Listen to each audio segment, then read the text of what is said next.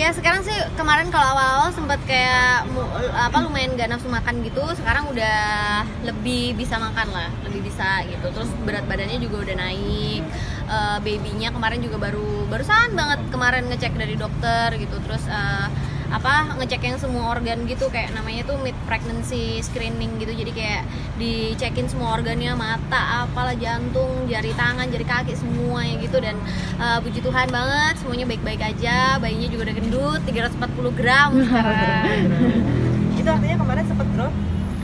Sempet jadi pas bu 4 bulan kan eh, kontrol sebelumnya 16 minggu. 16 minggu itu kata dokternya sih bayinya agak kurang gendut gitu. Sebenarnya semuanya oke cuman bayinya kurang gendut dikit nih gitu. Karena akunya juga naiknya baru waktu itu 0,8 kilo gitu. Nah terus dari situ sama dokter dikasih PR makan kan. Jadi udah akhirnya makan makan makan.